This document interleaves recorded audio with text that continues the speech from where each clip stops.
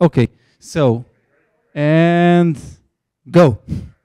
Okay, so we are going to talk about Kubernetes vulnerability scanning. Okay, we are scanning images in Kubernetes, and because we are taught to do so, and most of the security engineers, you know, feeling this way. Okay, they're getting overwhelmed with the results. Okay, we are getting for you know the latest uh, Elasticsearch. Okay, uh, image official image, you will get like more than 50 or not around 100 vulnerabilities. So, okay. The question is whether in Kubernetes, whether we can leverage Kubernetes to make it this whole thing more efficient, okay? And I will tell you why it is more efficient. So how vulnerability scanning is working, okay? Actually, there is the scanner who creates uh, an SBOM using the container image. Uh, it lists all the packages, then goes to all the publicly available vulnerability databases, uh, cross-checks, okay, uh, uh, the packages for vulnerabilities and creates this overwhelming list, okay?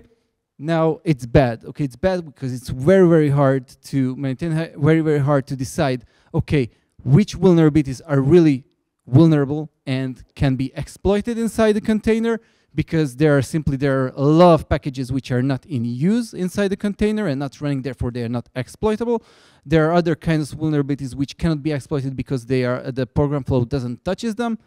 And there are other questions okay that these lists doesn't have obviously zero days uh, are, are not listed here. Usually our own code is not listed here so there are a lot of problems here. And now the question is okay what can we do okay so bro, we're using eBPF, okay? What do we do? The containers are running inside Kubernetes, okay? We're enabling eBPF and streaming data from eBPF to see the system calls of exec and open, okay? These two system calls enable us to see which program files are loaded into the memory, okay? Uh, crossing them together with the SBOM, right? The SBOM lists you all the packages you have inside the container, okay? And not just the package names, but also which files are making them. So if we're crossing these two information of which files in use inside the container together with the full SBOM, it turns out we can create a filtered SBOM.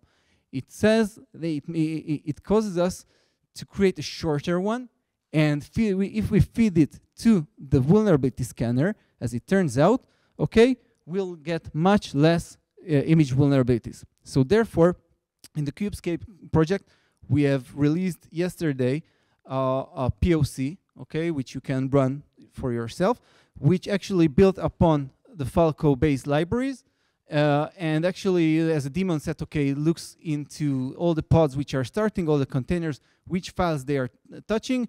It records all those uh, uh, events, uh, then creates the SBOM, filters the SBOM, and creates a vulnerability results, okay, based on that, and post it to the cluster, to the API server as uh, uh, custom resources. And it turns out, okay, and this is hot from the oven, okay, there is, this is a scan summary of NGINX image. Uh, you can see that it has a few vulnerabilities, okay, if I'm scanning it, uh, simply, okay? I have nearly 400 vulnerabilities, and it turns out that I've detected that only four of them are in the memory. Now, obviously, I'm cheating here, okay, guys? I'm telling you, but because because this Nginx is not really running in the sense that it is not configured to do TLS and stuff like that. But even if you think about, think about, okay, that I'm lo loading libssl and all these uh, modules of Nginx, it will turn out to be a much smaller number than this 400.